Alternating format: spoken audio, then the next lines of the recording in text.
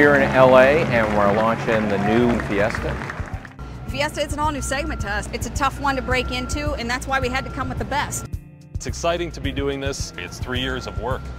There is so much work that goes on behind the scenes. Because there's actually quite a lot to do in a very short period of time. It's organised chaos because you're telling a story. The story is the car. We're usually starting off at 5 or 6 in the morning and ending the night at after midnight.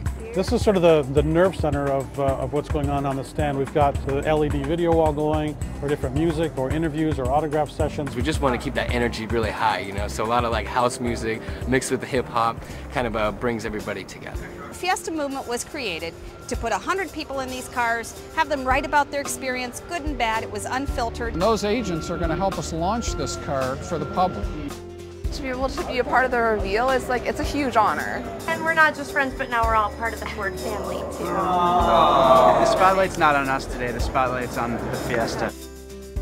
You feel like you're driving a luxury car, and it's not expensive. I love the blue one. I think it's so great. Pretty. The way it handles, you know, it's got a little kick to it. Good gas mileage.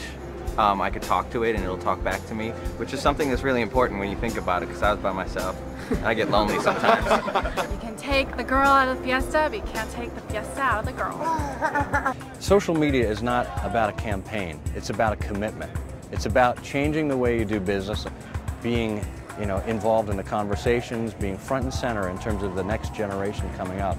Really, really creative, and I, uh, I expect to see uh, a lot of uh, a lot of people kind of follow the trend. The, it was a unique and interesting way to do it without all the smoke and mirrors. A little, a little um, simpler and a little more human.